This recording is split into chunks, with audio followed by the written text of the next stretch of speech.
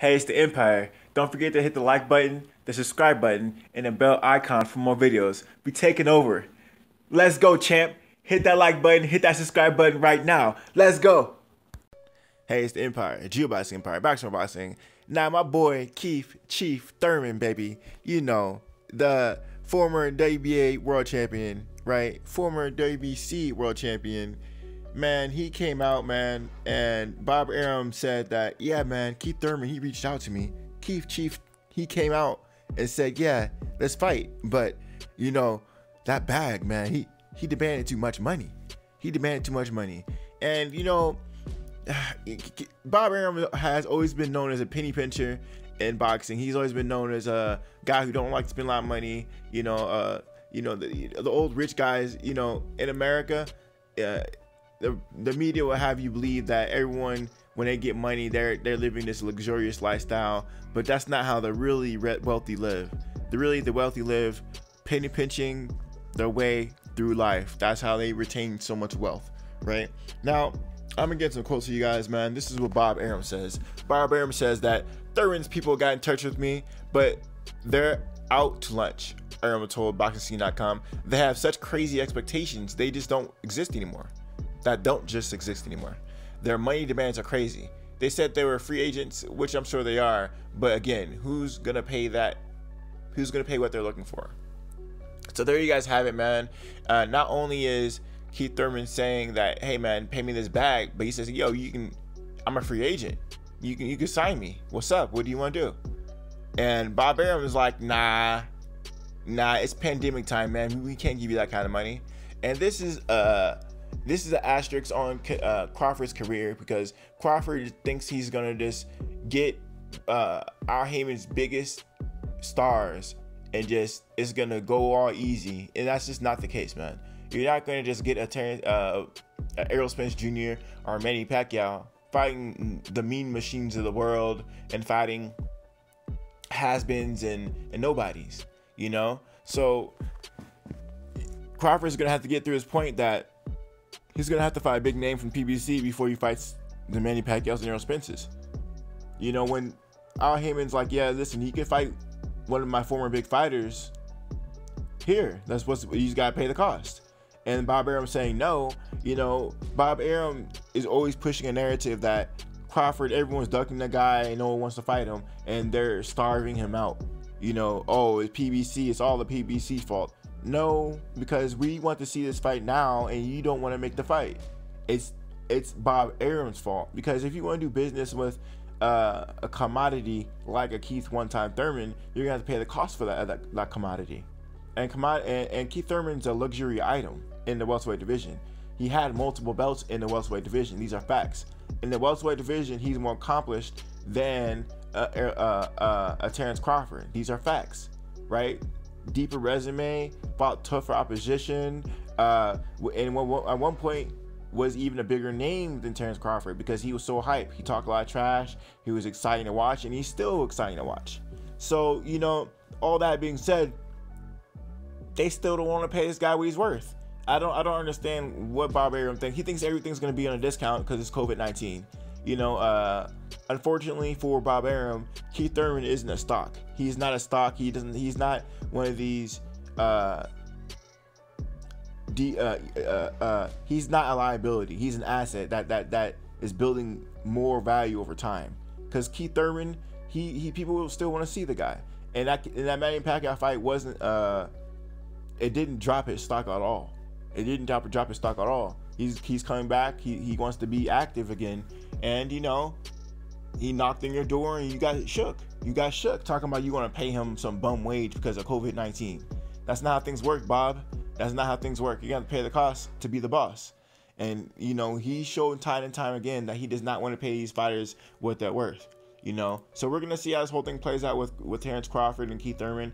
Um, like I said earlier, um, Bob Arum was talking about how he still wants to fight in the UK with um, Kell Brook and from and like, like I said earlier, from what I'm hearing, Keith Thurman says we're gonna offer him more money. Whatever you think you can offer him, Bob, we can we can double that probably.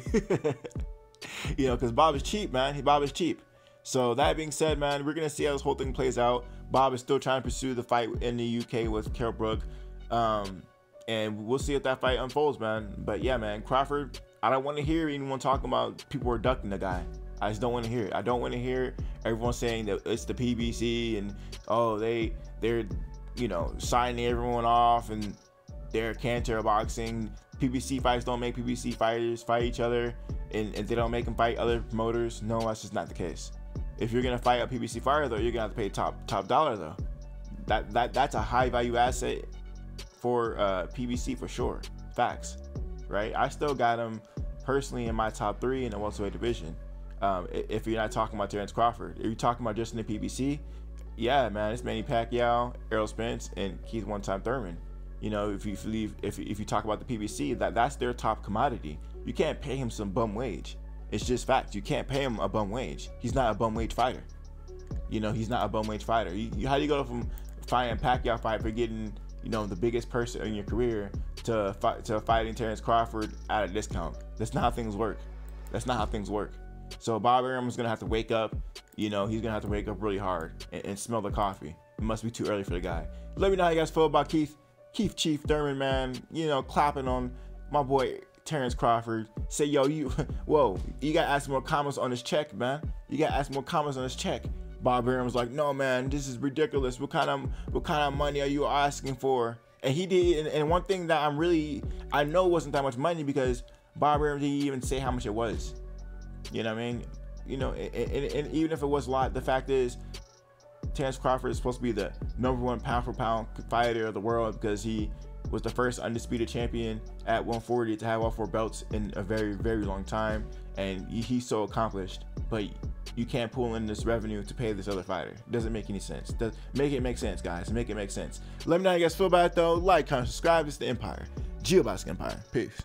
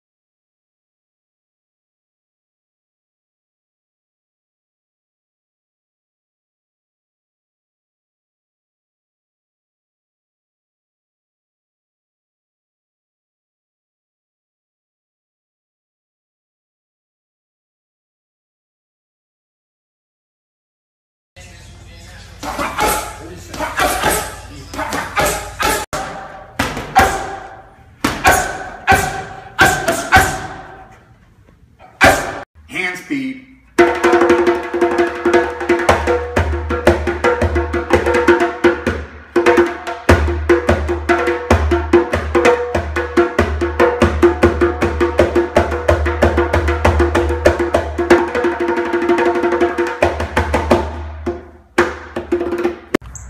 Not gonna be superstitious. It's not bad luck, it's good luck. I went in, okay? I was hitting jackpot after jackpot after jackpot. You know, from little kids' world, man, I was making it rain them tickets, boy. You know what I'm saying? Them tickets was raining. I got to get the biggest toy I wanted to get at the end of the day. It was banging, man. So everybody enjoy your Friday the 13th. You already know what it is. The champ is coming to Brooklyn, baby. Coming to Brooklyn. We back. And still, Saturday night. And still, the champ, baby. One time.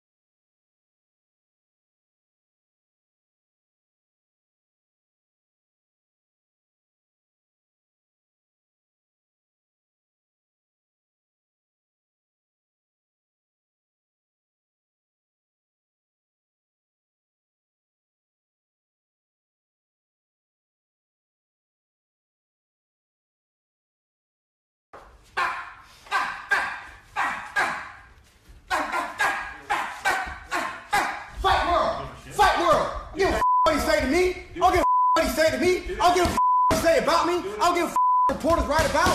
Fighters used to spit in each other's faces. Fighters used to throw punches at conferences. Fighters used to fight before the fight. A lot of used to happen back in the day. Nobody cares. Nobody cares. Y'all just can't stop typing and writing and making articles about that and being on Facebook and Twitter and Instagram about that. Ask Keith Thurman what he care about. I don't give a. I don't give a. I don't ever. I'm ready to fight. I'm ready to fight.